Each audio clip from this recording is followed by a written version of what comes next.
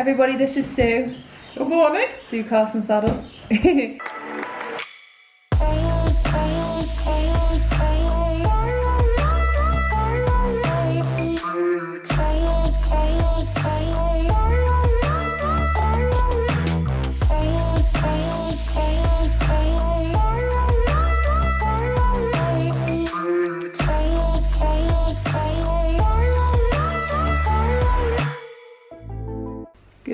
guys. Um, so it's seven o'clock. I have had some breakfast, just been praying, reading the Bible, doing all that. Um, so funny at the moment, having to pray with my eyes open so I don't fall asleep. um, anyway, side note. Um, so today is an exciting day. It's a really busy day but I wanted to vlog it because I think it would be really interesting for you guys and I've had a lot of people ask me about um, this subject. So basically what is happening today is we are doing a whole day of saddle fitting for every single horse. So Sue Carson um, came up last night and we're about to start in a minute of like fitting all the saddles. Also Wilf has a new saddle which is so exciting. It's called the Secret Weapon and it's like amazing. Um, and I'm really excited that it's come today because I'm actually leaving for Addington tomorrow, so it's perfect timing. Um, and that means that Molly and Joey and Belle and Barbie can all have a saddle now because um, I think Molly's going to share the saddle with Wilf and the others are all quite similar shapes. I don't know what's happening, um, but basically I know the youngsters are having Wilf's old saddle um, yeah, but it'll be exciting and we can ask Sue loads of different questions about saddle fitting um, because it's so important that the horses are comfortable. You can't expect your horse to go well if the saddle's pinching it. It would be like, oh, wearing, I was going to say shoes that pinch, but you know what I mean. Like it would be uncomfortable. It would be like wearing a really like badly fitting rucksack and then somebody sitting in that rucksack and then having to do like athletics if that makes sense. Um, so that is what we were doing for most of the day. And then I was meant to record a podcast this morning, um, 7 till 8. No, yeah, 7 till 8. But we actually decided to start earlier with the horses. So I'm going to have to do that later on. I'm not sure when, because um, I normally do them really early on a Wednesday morning.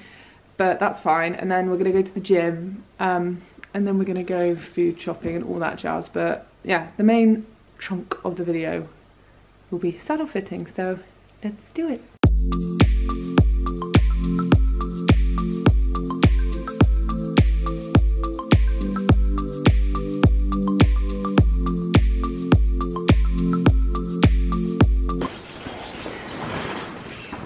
Oh, are those new saddle covers? Yep. Oh, a little pocket. Yeah. oh, sassy.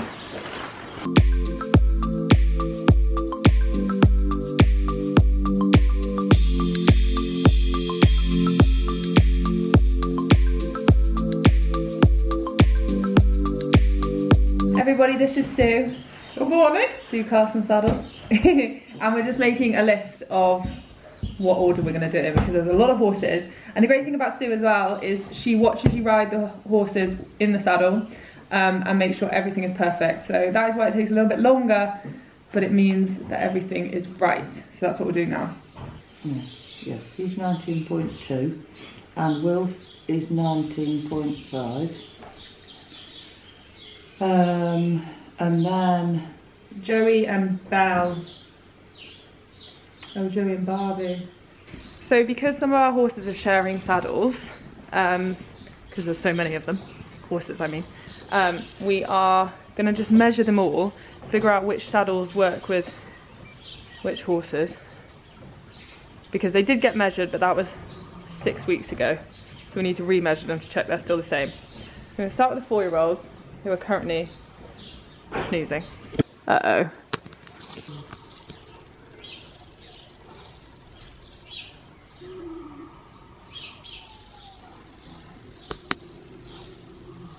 Isn't it called Monkey Puzzle?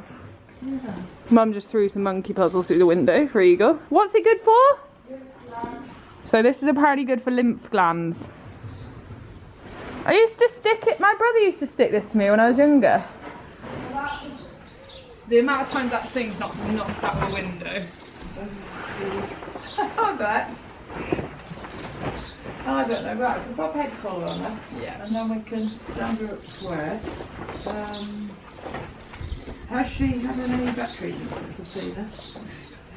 And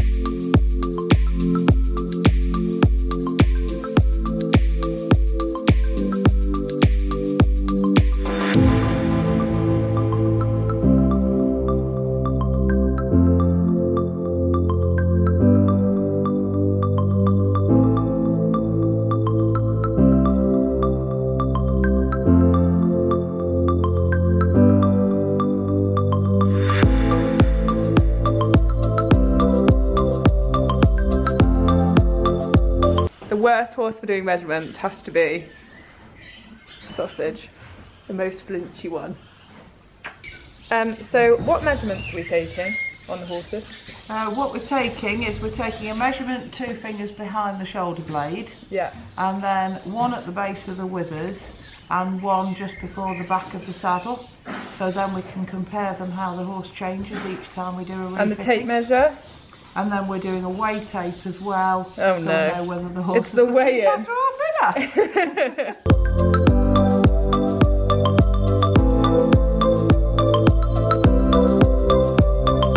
And measure him. And we draw it on a on the iPad so we can see how the horse has changed this time. I'll show you the iPad in a minute. Mum, And we do can- you hold in a sec? Because I need to film and he's going to move. And the one at the base of his withers. So then I'm going to draw it on the iPad and measure five centimetres, five inches down from the top. So that I've got a measurement as to how much he's changed shape as a comparison from the last time we did him. So we measure across. So he's 21.3. Oh, he's grown. Quite a lot. Window. And then we'll measure the one just at the back of the saddle. Because if this one changes and that one changes, that alters the back angle of the saddle. And then the front one at the withers makes a difference to how stable the saddle is and how well it fits. If the tree is the wrong fit, it will make the saddle very uncomfortable for your horse. And it's very important they're comfortable. 23.2 and then we'll compare that to last time. So he was 17.1 over his withers. And the last time we measured him uh, and he's 23.7 so he's altered a little bit so we'll just refit his saddle as we need to Nice. So we just got to measure the two five-year-olds, but you now get the idea of measurements. So we'll wait till we move on to the next little bit. Jerry is more or less the same. Uh, Zach is a little bit narrower. And Barbie is a little bit wider. So, um, to weight sometimes, or? bit weight, bit muscle. Um, So we are going to first do Wilfred, we're going to fit his secret weapon to him, and then we're going to readjust Eagle's one, and then we're going to look at the youngsters and see which saddle fits which.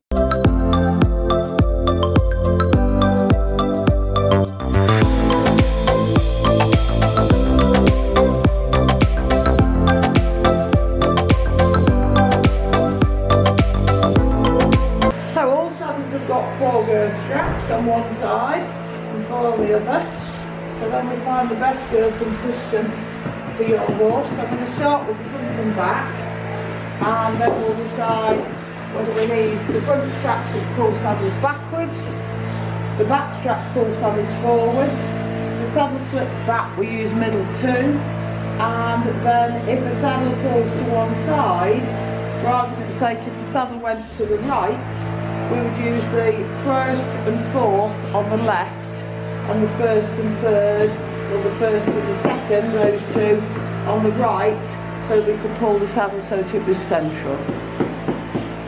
Oh, you're good at this, aren't you? You're well practiced We in front of a camera. And then the reason that saddles slip to one side is very often that horses are not symmetrical or riders, so the saddle is only an interface between the horse and the rider. So then we're going to use the Tixarant girth, which has got the rubber plate underneath, and it sits one girth width behind the elbows, which then gives the saddle more stability and also gives the horse total freedom in its shoulders.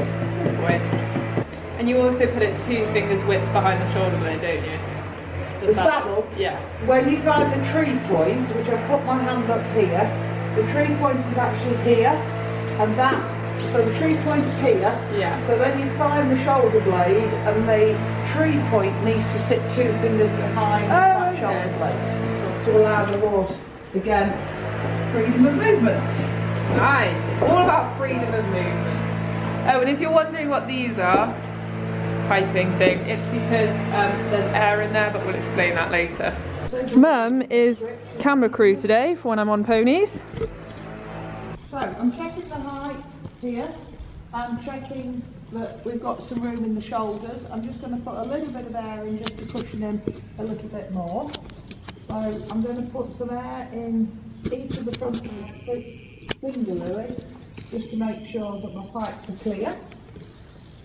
And they are. So then I'm going to take these two clips off, which then means the air is free flowing from one front bag to the other. So that will then set to his particular shape, because no horses are symmetrical like ourselves. Clever. I'm going to learn so much today. We've got the, the pommel is now in the middle of it, and I've got nice freedom in his shoulders, so then I'm going to clip the pipes.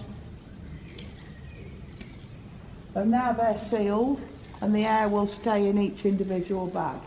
Right, let's see if we've got the balance now right front to back. The saddle can only be level at one pace. So with the dressage horses, we fit them level at trot. Um, if they canter a little bit croup high, we do fit them level at canter. With the jump saddles, we fit those level at canter. But you can't have it level at stationary, walk, walk, trot and canter. You have to pick which pace you want it absolutely level at. Right, here we go. So, I was debating whether to put this in or not because it's meant to be like a vlog on saddle fitting, not on me being an emotional wreck.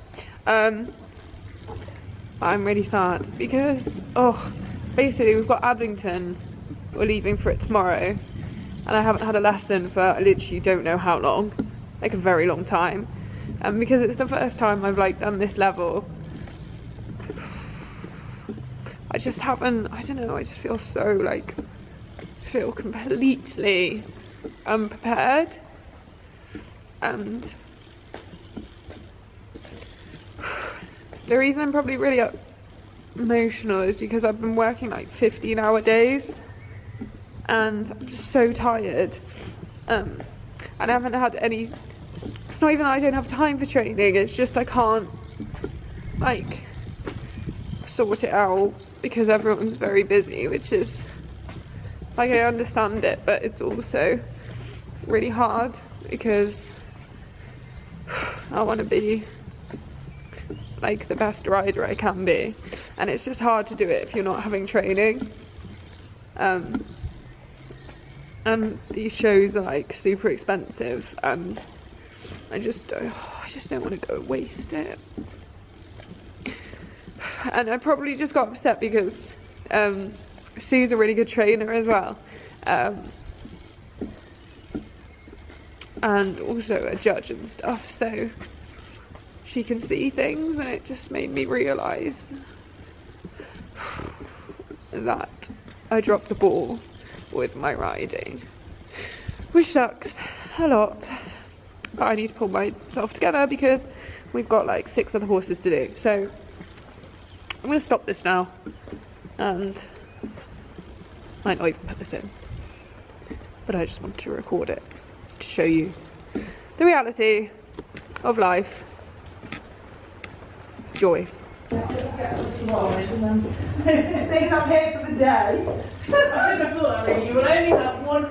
So Eagle is up next and I'm going to try and get mum to film more of what actually is going on because I don't know if she did much on Will.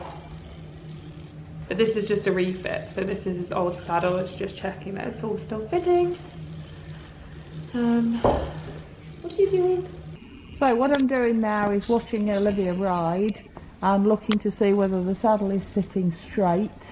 Um, this horse is a little bit slower on his left hind, so therefore he tends to throw the saddle to the left. So what I've done is I've held the front across and clipped it, so the front airbags are holding the saddle across, um, and then I've used the straps so that you've got the first and fourth on the right, which one will pull it to the right, and then I've used the first and the third on the left to let it go.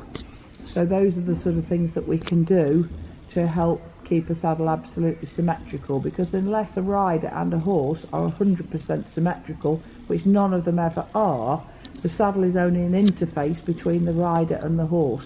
So it will follow the table we're putting it on, i.e. the horse's back.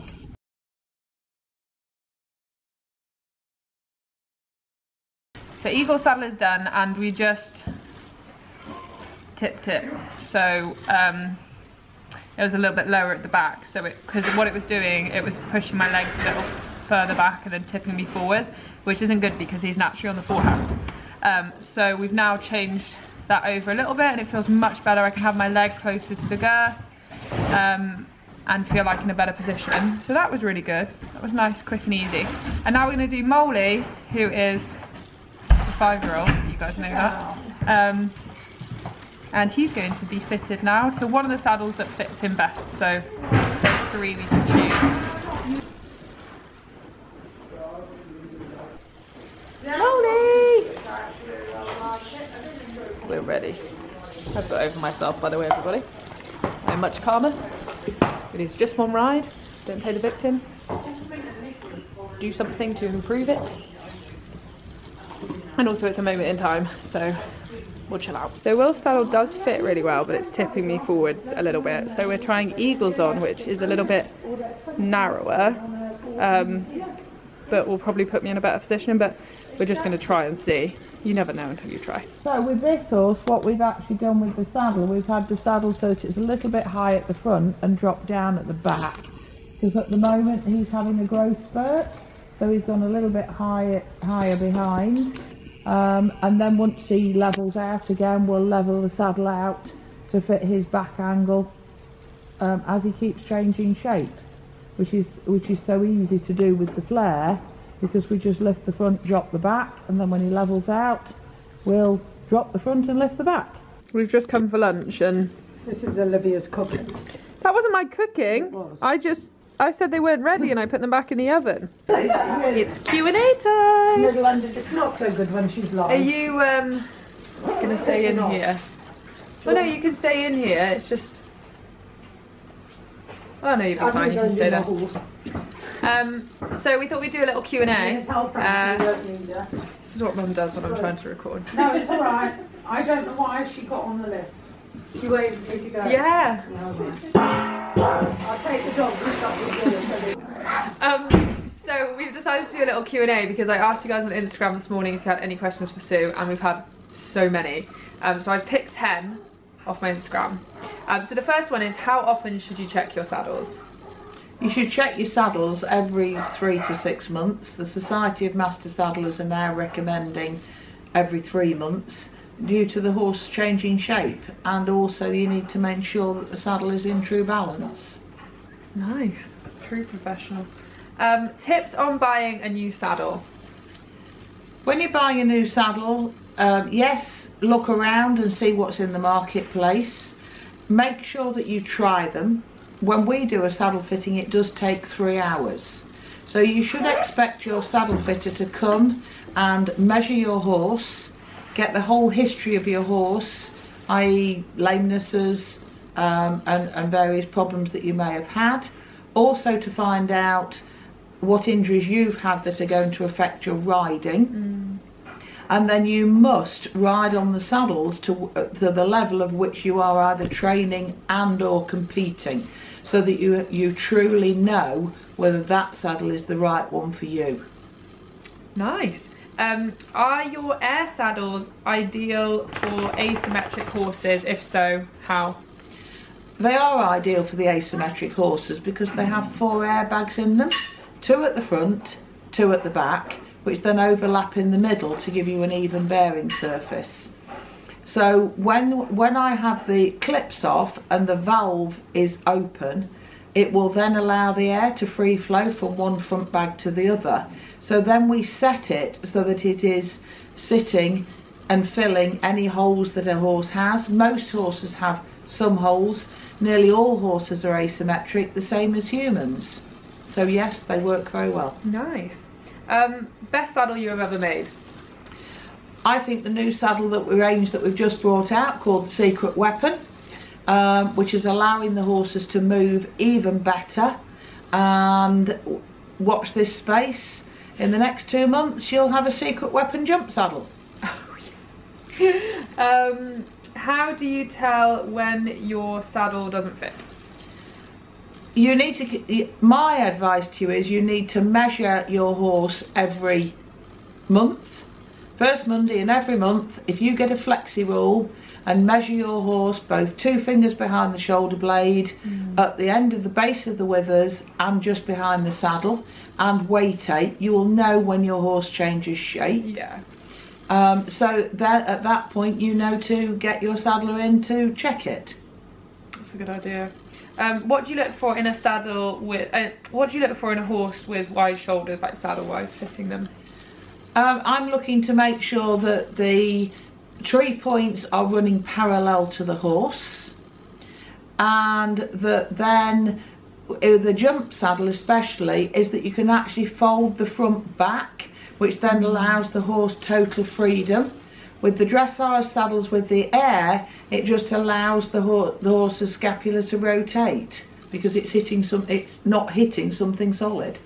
And that leads nicely into this question: Is it harmful to jump in a dressage saddle? I have got riders who jump in a dressage saddle. Obviously, you can't get yourself into a true jumping position, but if you're just using it for pole work and small fences, there is no reason why you can't jump in a jump in a dressage saddle. I'm so glad I cleared that one up. Um, is there a real benefit for having a dressage saddle for flat work? Yeah, there is a real benefit because you need a saddle that's going to support you and help you, not something that's going to hinder you. So a jump saddle isn't designed to put you truly ear, shoulder, hip, heel mm. in balance with your horse. It's designed for you to sit in jumping position.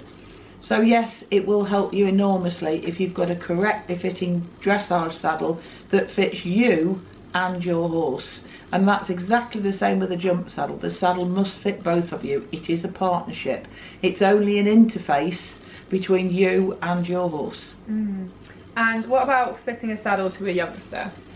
We fit a lot of saddles to young horses, and the benefits of ours is that because we can widen or narrow the head and we can alter the air, if you buy one of our saddles as an unbroken three year old, it will still be on the horse until basically it's Grand Prix. Wicked, love that. Um, difference in benefits from air to flocking. For me, obviously, I, I really, really like the air because I can alter the saddle as we've done this morning for Olivia and you can balance it both front to back and right to left. So if you've got the young horses that we've fitted this morning, um, some are in a growth spurt at the moment, which is perfectly usual at this time of year.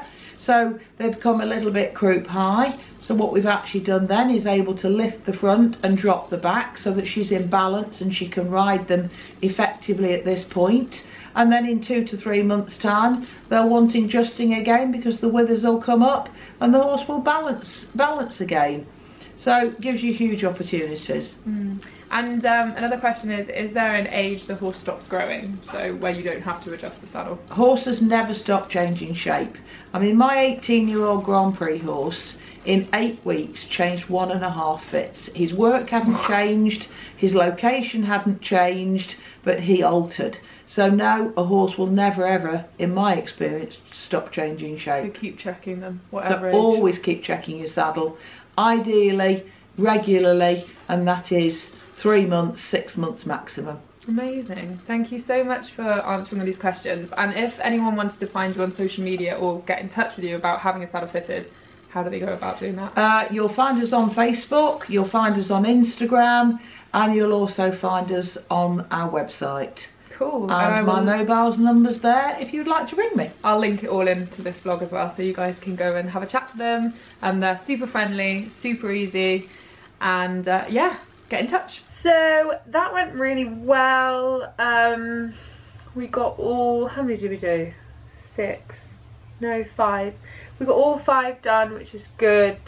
Um, Baby Belle didn't take very long actually because she's been not not quite right in front and we've been trying to figure out what it is and um, she's got a splint so I think we are well I know we're going to give her six uh, four to six weeks off to let it settle um, which is fine because she's not even four yet she's four in July so it's not going to do her any harm she's super easy. So just going to throw her out in the field let her chill out. Like this is quite standard for young horses.